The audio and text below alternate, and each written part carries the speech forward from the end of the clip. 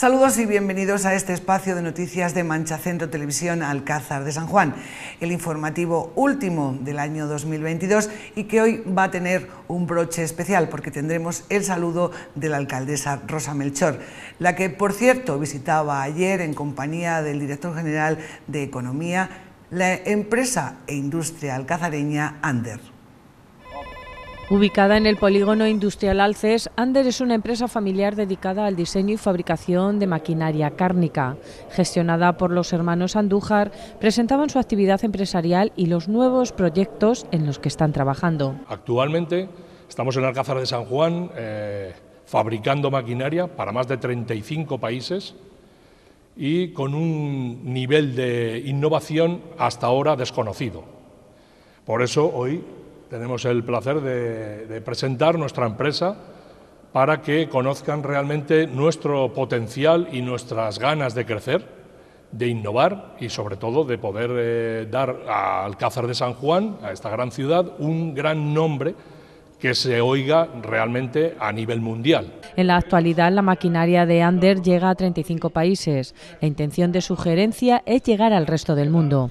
Pero eh, nuestro futuro es poder llegar con presentación, eh, la presentación de estos nuevos proyectos que actualmente tenemos eh, casi preparados para poder salir al mercado, llegar al resto del mundo.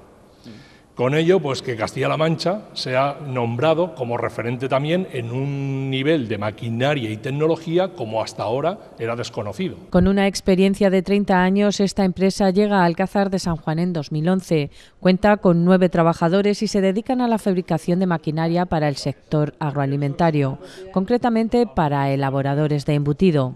En esta presentación anunciaban la fabricación de maquinaria destinada al sector vegano y del pescado. Empresas como estas fijan población y contribuyen a que el precio interior bruto del sector industrial de Castilla-La Mancha se sitúe dos puntos por encima de la media nacional.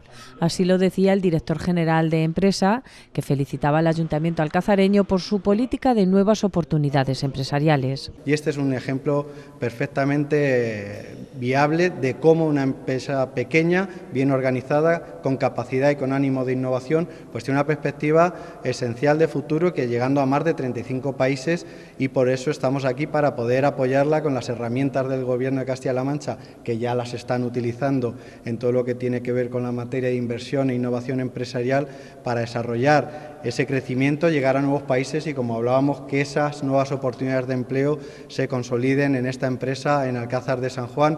Rosa Melchor ponía en valor el trabajo de esta empresa relacionada con la innovación industrial, lo que demuestra que la colaboración público-privada da como resultado la generación de riqueza y empleo. No en vano, cuando nosotros llegamos en 2015 a la responsabilidad de gobernar Alcázar de San Juan y de gestionar, por lo tanto, todos sus intereses generales, pues nos encontramos con un número de desempleados enorme que no hemos hecho que descienda desde el ayuntamiento, ni siquiera desde la Junta de Comunidades, al menos no solos, sino que lo hemos hecho posible gracias a la iniciativa empresarial que ha creído en nosotros, que sigue confiando en Alcázar de San Juan como un lugar en el que invertir, un lugar estable, seguro, tranquilo y que ha permitido que a día de hoy, finalizando el año 2022, tengamos un número de desempleados de la mitad la alcaldesa señalaba que si bien la mayoría de las empresas ubicadas en la ciudad están relacionadas con el sector de la transformación agroalimentaria, empresas como Ander contribuyen a que Alcázar de San Juan sea también referente en otros sectores industriales. Incluso eso también ha traído consigo el crecimiento demográfico en un momento en el que muchos lugares del planeta y en España también en concreto se habla de la España vaciada.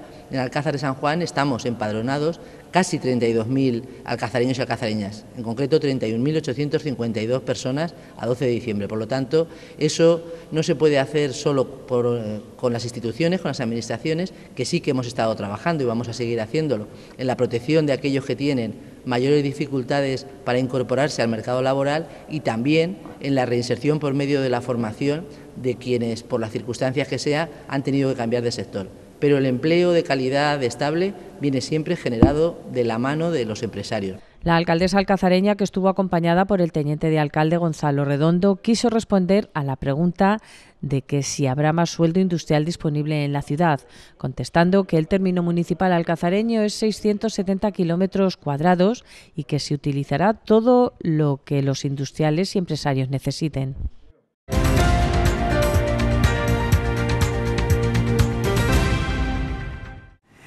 Y no todo es fiesta, también ocurren algunos sucesos en nuestra ciudad en estos días de fiesta y carnaval. Concretamente hoy les vamos a hablar de uno que tenía lugar en la tarde del día 27, justo antes del desfile de máscaras. Los bomberos se vieron obligados a la entrada a una vivienda situada en la Plaza Mayor tras recibir el aviso de que una persona no respondía a las llamadas de sus amigos. Entonces, debido a la premura, hemos hecho un, con la escalera de, de asalto por, la, por su propia vivienda. Hemos tenido que forzar la presión y romper el cristal, pues no sabíamos en qué estado se encontraba y nada, se ha hecho esa apertura forzada, se ha abierto la puerta y está en manos de los servicios sanitarios. En principio, el responsable de los bomberos adelantaba que el estado de esta persona no revestía gravedad.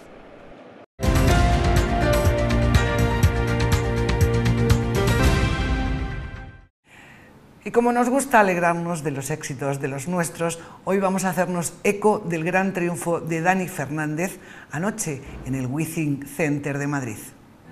El cantante Dani Fernández presentaba en el Withing Center la noche del Plan Fatal. El antiguo Palacio de los Deportes registraba un lleno total de los seguidores del alcazareño, 12.000 personas que consiguieron lo que llaman sold out, que significa todo vendido.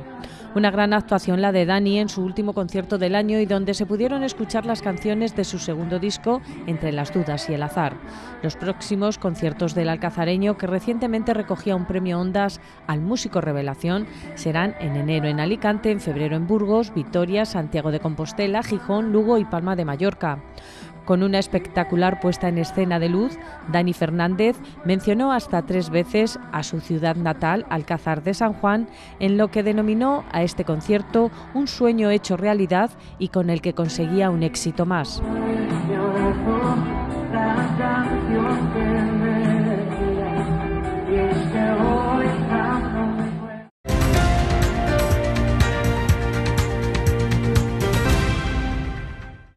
Muchos han podido ver durante estos días por las calles de nuestra ciudad a los equipos de fútbol sala que están jugando ese campeonato nacional de selecciones de fútbol sala. Pero el auténtico espectáculo lo estamos viendo en los pabellones Díaz Miguel y Picasso. Durante esta semana se viene celebrando en Alcázar de San Juan el Campeonato Nacional de Selecciones Autonómicas Sub-16 y Sub-19 un torneo en el que Castilla-La Mancha juega esta primera fase en el Grupo B, junto a Murcia, Castilla y León, Canarias y Principado de Asturias.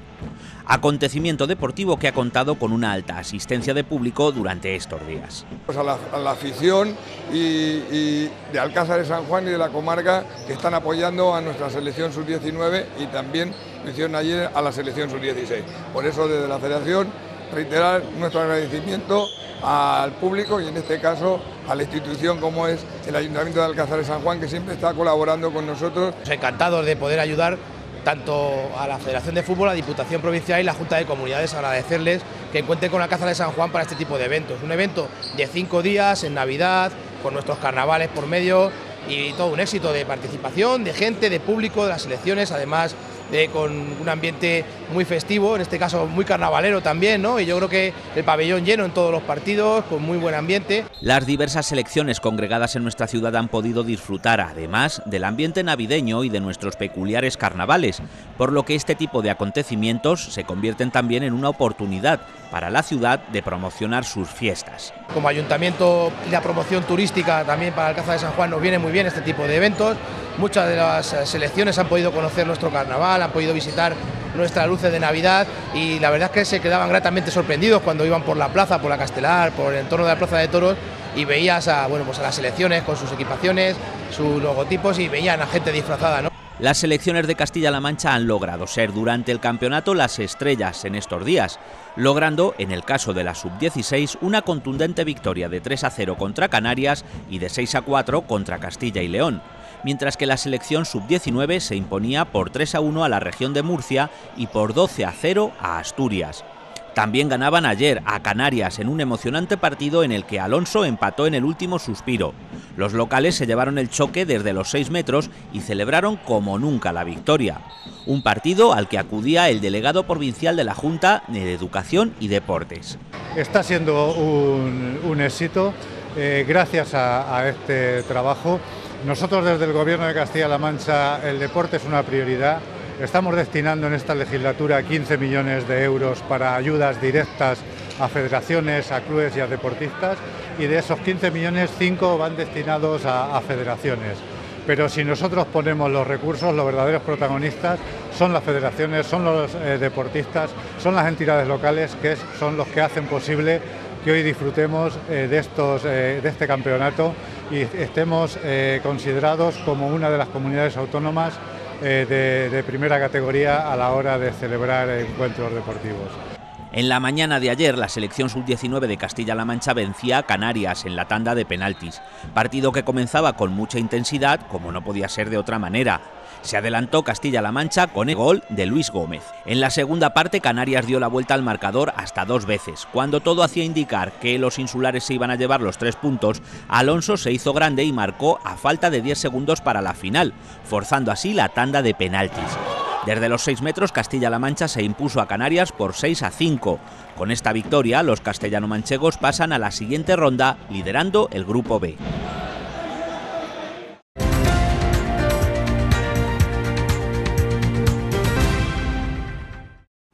Un fin de semana muy especial el que comienza en el día de hoy. Sepamos qué nos ofrece nuestra ciudad para este que viene.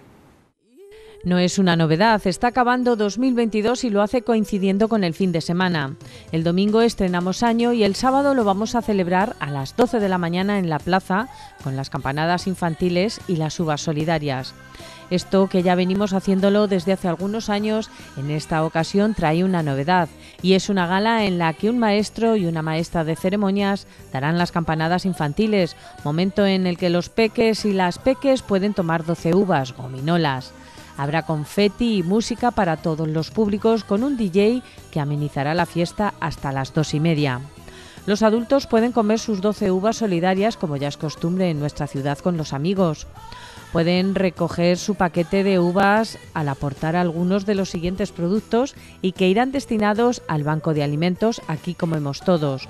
Pañales de la talla 4 y 5, potitos de fruta y carne, cereales infantiles, toallitas, azúcar, gel o champú. Una gran fiesta en la plaza para despedir 2022 y un poquito también el final de Carnaval Cázar que seguimos todavía con el regustillo. Y después a la San Silvestre, la cita es a las 5 de la tarde en el pabellón Díaz Miguel organizada por la FABA, el Club Deportivo El Porvenir, en colaboración con el Instituto Municipal de Deportes, este año llega a su decimocuarta edición. Y hay, como siempre, tres categorías. La general, que saldrá de la pista de atletismo a las 5 de la tarde, la escolar, que saldrá a las 5 y cuarto de la Plaza de Toros, y la de pequeñines y categoría adaptada, que partirá a las 5 y media desde el inicio de la Castelar. La meta de todas las categorías estará situada en la Castelar, zona del casino. Las inscripciones son gratuitas y se pueden realizar desde las 3 hasta las 5 menos cuarto en las taquillas del pabellón Díaz Miguel. Casi 500 personas se animaron en la del año pasado, a ver si este año superamos los 500. Por cierto, se puede ir disfrazado porque habrá un jurado que a su juicio dictaminará cuáles son los tres mejores disfraces de cada categoría y habrá, y esto es una novedad, lotes de regalos para ellos. El domingo y como cada 1 de enero es el día de sofá y mantita para la recuperación tras el disfrute de la Nochevieja, que esperamos que sea muy divertida para todos ustedes. Desde Mancha Centro Televisión les deseamos que 2023 nos traiga salud y muchas buenas noticias que podamos contarles. Buen fin de y mejor Nochevieja. Quiero anunciarles que a partir de las 9 de la noche podrán ver aquí en Manchacentro Televisión Alcázar de San Juan el desfile del entierro de la sardina.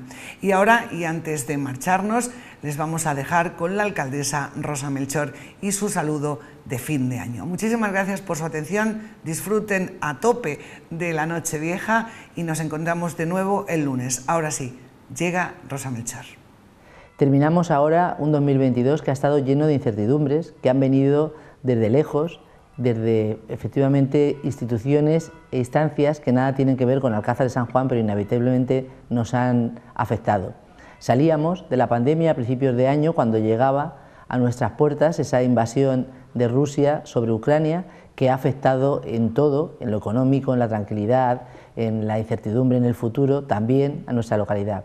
A pesar de eso, hemos sido capaces todos juntos de demostrar otra vez nuestra fortaleza, una fuerza que ha dado como fruto que no hayamos em, crecido en el número de desempleados, sino que hayamos mantenido el mismo número de personas en el desempleo que había el año anterior. Hemos sido también capaces todos juntos de mantener el nivel de crecimiento demográfico de nuestra población, siendo en la actualidad 31.852 personas empadronadas. Por lo tanto, Alcázar ha vuelto a demostrar su fortaleza. Estoy segura que todos juntos seremos capaces de afrontar el futuro. Por eso quería dirigirme a vosotros ahora, en estos últimos días del año, cuando ya hemos pasado el carnaval, lo hemos disfrutado y hemos podido hacerlo por fin todos juntos, hemos disfrutado una buena parte de la Navidad y dirigirme a vosotros para, sobre todo, desearos los mejores de los deseos. Llevo ya alguna temporada efectivamente compartiendo con vosotros estas reflexiones. Lo más importante, fundamental, la salud. Acompañando a la salud los afectos de aquellos a quienes quieren y nos queremos y todo eso será nuestro motor, nuestra gasolina, para que el 2023 venga cargado de bonanza y de esperanza e ilusión para una ciudad como es Alcázar de San Juan, corazón de la Mancha, que ha sido capaz de sobreponerse a la pandemia y a otras situaciones complicadas. Todos juntos afrontaremos lo que esté por venir y estoy segura que si lo hacemos de esa manera, todo lo que venga a nuestra ciudad será bueno para todos nosotros. Feliz entrada y salida de año nuevo y de año viejo y un próspero, prosperísimo año 2023 que podamos celebrar y festejar todos juntos el año que viene por estas fechas.